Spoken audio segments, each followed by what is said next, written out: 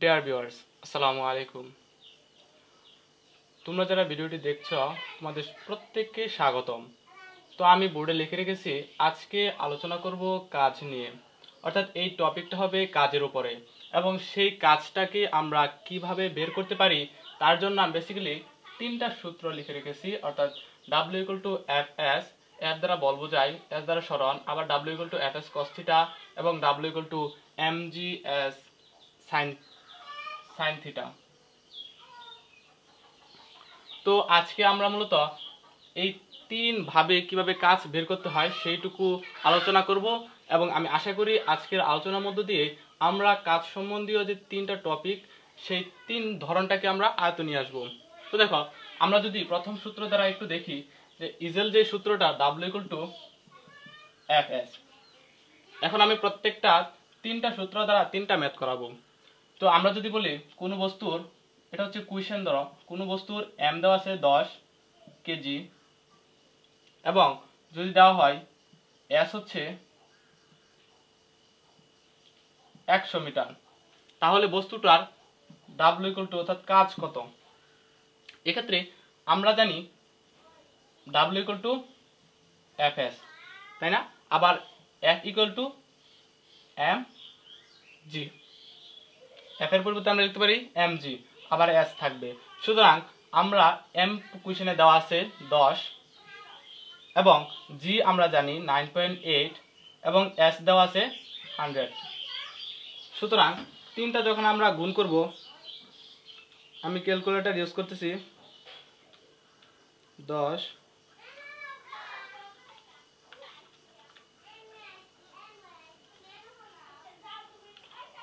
উত্তর আসতেছে ন হাজার আটশত জুল। তো মূলত ফার্স্ট নাম্বার সূত্র দ্বারা খুব সহজ এবং ইজিল একটা অঙ্ক করলাম। এখন আমরা দুই নাম্বার সূত্রের বিস্তারিত জানব। দেখো, দুই নাম্বার সূত্রে বলা আছে W equal to F S cos তো বেসিক্যালি এখানে এফ এস এবং কস থিটা আসলো কেন? সেটা জানব এবং পাশাপাশি একটা ম্যাথের মাধ্যমে আমরা সেটাকে ক্লিয়ার করব। দেখো, আমি ফার্স্ট ফিগারে লিখে রেখেছি প্রথম চিত্রে যে আমরা একটা বস্তু, এই যে এটা একটা বস্তু সাপোজ একটা বস্তু, এই বস্তুর উপর আমি ফোর্স ক্রিয়েট করলাম, অর্থাৎ বল দিলাম। আমি বলটা দিয়েছি, এই যে এই রেখা বরাবর, এই যে এই রেখা বরাবর, এই যে এই রেখা বরাবর। তো দেখো, আমরা যখন এই বলটাকে, অর্থাৎ বস্তুটাকে এই রেখা বরাবর ফোর্স দিলাম, তখন সেটা সামহাও এই দিক দিয়ে একটা কোণ তৈরি করে উপর দিকে চলে গেল। কোন তৈরি করে? উপর দিকে চলে গেল। ধরো এটা এস দূরত্ব অতিক্রম করছে উপর দিকে এবং এখানে কোন উৎপন্ন করছে ষাট ডিগ্রি। তো এখন যদি বলে যে এই বস্তুটা কতটুকু কাজ করছে, তো সেটাকে আমরা কেমনে বের করব? দেখো, আমরা লিখি W equal to F S প্রথম সূত্র, অর্থাৎ বল ইন্টু তার দূরত্ব। এখানে দূরত্বটা হবে এইটুকু, অর্থাৎ এইখান থেকে এইটুকু। এইটুকু কেন? কারণ আমরা যখন দেখব বস্তু বল প্রয়োগের পর কোন তৈরি করে অন্যদিকে চলে গেছে, তখন সেই প্রান্তবিন্দু থেকে একটা লম্ব অঙ্কন করব। যেটা কিনা হবে? এটা নাইনটি ডিগ্রি কোণ উৎপন্ন হবে। তারপর এই প্রান্তবিন্দু থেকে এটুকু দূরত্ব হবে এক্স তো আমার এই বেসিক্যালি এসটা হবে মূলত এক্স তো দেখো, যখন এখানে একটা কোণ উৎপন্ন হলো, তখন বেসিক্যালি একটা সমকোণী ত্রিভুজ উৎপন্ন হলো, তাই না? সমকোণী ত্রিভুজ। তাহলে আমরা জানি যদি আমরা এই সমকোণী ত্রিভুজকে বিবেচনা করি, তাহলে তিনটা জিনিস থাকে। একটা হচ্ছে অতিভুজ আরেকটা হচ্ছে সন্নিহিত বাহু আরেকটা হচ্ছে কি? লম্ব। তো আমরা এই ডিগ্রিকে, ষাট ডিগ্রিকে যদি ধরি, তাহলে এই অ্যাসটা হচ্ছে অতিভুজ, এবং এটা হচ্ছে তার ভূমি, এবং এটা হচ্ছে লম্ব। যেহেতু যেহেতু আমার মান দেওয়া আছে ভূমি এবং অতিভুজের, তো আমি যদি বলি ভূমি বাই অতিভুজ তাহলে সেটা হবে, আমরা সকলে জানি কস থিটা আর সেজন্য মূলত এই এক্সের এখানে মানে এই সূত্রের মাঝে কস থিটা ইউজ করা হয়। তো দেখো, যখন আমি জানলাম যে cos theta is equal to ভূমি মানে ভূমি হচ্ছে এক্স এবং অতিভুজ হচ্ছে এস তো এক্ষেত্রে আমরা যদি এক্সের মানটা চাই যেহেতু আমার এক্স আছে এক্সের মানটা চাই, তাহলে আর আর গুণ হয়ে যাবে এস কস থিটা তো আমরা দেখলাম W equal to F S cos theta কেমনে আসে? সেইটা। এখন যদি আমরা সূত্রের মাধ্যমে এই এই সূত্রের মাধ্যমে আমরা একটা ম্যাথ করি, তাহলে আমার মনে হয় এই বিষয়টা আরও ক্লিয়ারলি আমাদের আয়তে আসবে। তো ধরো, আমি যদি কুয়েশনে বলি, আমি যদি কুয়েশনে বলি যে একটা বস্তুর বর এম, আগের মতোই দিলাম দশ কেজি। বস্তুর এম যদি ধরি দশ কেজি, এবং যদি এস যদি ধরি পঞ্চাশ মিটার, এবং মাঝখানে থিটা কোনটা যদি আমি ধরি ষাট ডিগ্রি, তাহলে বস্তুর কতটুকু কাজ করছে? তো এটা জানব জানব। তো এটার জন্য আমাকে দ্বিতীয় সূত্র অ্যাপ্লাই করতে হবে। তো আমরা জানি, আমরা লিখব, আমরা জানি W equal to F S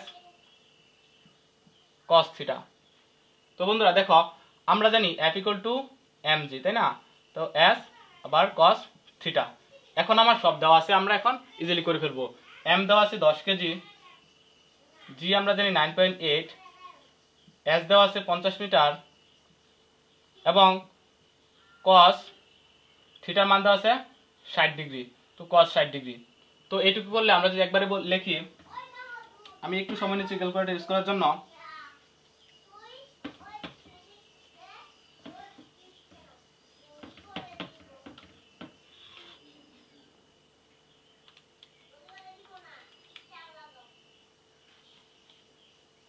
তো এইটুকু আছে দু হাজার জুল। হ্যাঁ। তো মূলত আমরা দ্বিতীয় সূত্রের মাধ্যমে কীভাবে কাজ নির্ণয় করতে হয় সেটুকু জানলাম। এখন আমরা তিন নাম্বার সূত্রের মাধ্যমে কীভাবে কাজ বের করতে হয় সেটা জানব। তার আগে আমরা তিন নাম্বার সূত্রটা কেমনে আসলো সেটা দেখে নিই। আমি ফিগার টুতে চিত্রটা এঁকে রেখেছি। এখন যদি বলা হয় কোনো ব্যক্তি সিঁড়ি বেয়ে উপরের দিকে উঠতেছে হ্যাঁ? সিঁড়ি বেয়ে উপরের দিকে উঠতেছে, তখন যদি বলে এরূপ ক্ষেত্রে যদি বলে আমাকে কাজ নির্ণয় করতে, তখন কিন্তু আমাকে অন্যভাবে ভাবতে হবে। অর্থাৎ বস্তুটি যখন সিঁড়ি বেয়ে উপর দিকে উঠে, তখন কিন্তু বস্তুর অ্যাকচুয়ালি বলটা থাকে উপরের দিকে। বস্তুর বলটা থাকে উপরের দিকে এবং তার দিকে একটা, আরেকটা বল কাজ করে, সেটা হচ্ছে অভিকর্ষিত ত্বরণ কাজ করে নিচের দিকে। সুতরাং এক্ষেত্রে আমরা যেহেতু বস্তু, ব্যক্তি বা ব্যক্তি বস্তু নিয়ে যখন উপরে ওঠে তখন আমাকে লম্বালম্বী দূরত্বটাকে চিন্তা করতে হবে। সুতরাং আমাকে এখন এটাকে এটাকে বের করতে হবে। অর্থাৎ তদ্রুপ আমরা যদি এখানে যে বস্তুটা উঠে, তো এখান থেকে যখন ভূমির উপর লম্বা টানবো, তখন একটা সমকোণী ত্রিভুজ গঠিত হবে, সেখানে এটাই হবে নাইনটি ডিগ্রি তো আমি যদি বলি, ব্যক্তিটা যখন সিঁড়ি উপর দিকে উঠছিল, তখন এখানে কোন হয়েছিল পঁয়তাল্লিশ ডিগ্রি আমি ধরে নিচ্ছি, এবং ব্যক্তিটি সিঁড়ি বেয়ে ধরো পঁচিশ মিটার উপরে উঠছে। এক্ষেত্রে আমাকে বলল, এটা এস ইকুয়াল টু পঁচিশ মিটার, স্যার। এক্ষেত্রে আমাকে বলল যে, বস্তুটার বস্তুটার অ্যাকচুয়ালি কতটুকু উচ্চতায় উঠেছে? আমাকে এখন এই এজটাকে বের করতে হবে। দেখো, আমরা আগের মতো যদি চিন্তা করি, একটা সমকোণী ত্রিভুজের আমার দুইটা জিনিস দেওয়া আছে। একটা এজ দেওয়া আছে, যেটা কিনা লম্ব এবং আমার অতিভুজ এস দেওয়া আছে। তো আমরা লিখতে পারি, যখন আমরা এই লম্বটাকে লিখব এস এবং অতিভুজটাকে লিখব এস তখন মূলত লম্ব বাই অতিভুজ, এটা আমরা জানি সাইন থিটা তাই না? তো দেখো বন্ধু, এখন যদি আমি এইচ এর মানটা চাই এইচ তাহলে এই দুটা বেসিক্যালি গুণ হয়ে যাবে। তাহলে এস এস সাইন থিটা তাই না? আমরা এস ইকুয়াল টু পাচ্ছি এস সাইন থিটা আবার আমরা যদি প্রথম সূত্রে ফিরে যাই W equal to F S এক্ষেত্রে আমরা এস দিব না, কারণ এক্ষেত্রে আমরা বস্তুর উচ্চতা নির্ণয় করব, সুতরাং এখানে আমরা এস দিব। সুতরাং এখানে আছে এস এর ক্ষেত্রে যদি আমরা এটা বসাই এস এস সাইন থিটা তো আমরা এফ ইকুয়াল যদি বলি এফ এর পরিবর্তে M A S sine theta ও। আমরা এখানে এম এ যেহেতু এখানে এক্ষেত্রে অভিকর্ষিত ত্বরণ আছে, সুতরাং এখানে আমরা জি নিব। সুতরাং আমরা পেয়ে গেলাম M G S sine theta কীভাবে বের করতে হয়। তো এখন যদি আমরা একটা সূত্রের পাশাপাশি একটা ম্যাথ করাই, তাহলে আমার মনে হয় বিষয়টা আরও সহজে আয়তে আসবে। তো দেখো, এখন যদি আমরা বলি, ব্যক্তি পাঁচ কেজি একটা বস্তু নিয়ে উপরে উঠতেছে, তো ব্যক্তির বর এম অফ থিং যদি বলি পাঁচ কেজি, তারপর এম অফ ম্যান এম ধরো পঁয়তাল্লিশ কেজি, ব্যক্তির বর হচ্ছে পাঁচ কেজি ব্যক্তির ভর হচ্ছে পঁয়তাল্লিশ কেজি ব্যক্তির মাথার উপরে একটা বস্তা, সেটা ধরা পাঁচ কেজি এই দুইটা নিয়ে সে উপরে উঠতেছে। তাহলে আমরা টোটাল এম পাচ্ছি কত? টোটাল এম পাচ্ছি পঞ্চাশ কেজি। এখন আবার আমার একটা মান আছে এস দেওয়া আছে। এটা ধরো কোয়েশ্চেন নাম্বার থ্রি ধরো আমার এস দেওয়া আছে পঁচিশ মিটার। এবং থিটা কোন দেওয়া আছে? পঁয়তাল্লিশ ডিগ্রি। এখন যদি আমাকে বলে এই ব্যক্তিটা কতটুকু কাজ করছে, তখন আমরা যে সূত্রটা অ্যাপ্লাই করব, আমরা লিখতে পারি W equal to F S আবার না লিখে এফ এস না লিখে আমরা সরাসরি লিখতে পারি M G S sine theta তো এখন আমরা ইজিলি মানগুলো বসিয়ে দিব। এম এর দুইটা সমষ্টি সুতরাং এম এর জায়গায় লিখব পঞ্চাশ into nine point eight into S two হচ্ছে পঁচিশ সাইন থিটা হচ্ছে সাইন পঁয়তাল্লিশ ডিগ্রি বাস, এখন আমরা ক্যালকুলেটার সাহায্যে মানগুলো বসিয়ে নিই। সাইন পঁয়তাল্লিশ ডিগ্রি ইন্টু পঁচিশ ইন্টু পঞ্চাশ into nine point eight. Nine point eight আচ্ছা। তাহলে মান আসতেছে আট হাজার ছয়শত বাষট্টি দশমিক zero five eight zero seven joule. তো মূলত এইটুকু হচ্ছে আনসার তো আমরা এই লেসনের মাধ্যমে জানলাম যে একটা বস্তুর কাজ ঠিক কয় রকমের হতে পারে এবং সেই কাজটাকে কীভাবে ফাইন্ড আউট করতে পারে পারে এবং সেই কাজগুলো কয়টা সূত্রে ভাগ করে ভাগ করে সেই ম্যাথগুলো করা যেতে পারে। তো আমরা আজকের লেসনের মাধ্যমে টোটালি কাজ সম্পর্কীয় যত ঝামেলা আছে, আমি মনে করি আজকের মাধ্যমে, আজকের লেসনের মাধ্যমে সমাধান হয়ে গেছে। তো লাস্ট পর্যন্ত যারা ভিডিওটা ওয়াচ করেছ, তোমাদের প্রত্যেককে ধন্যবাদ এবং শুভকামনা, প্রত্যাশা করে আমি ভিডিওটি শেষ করছি। ধন্যবাদ সবাইকে।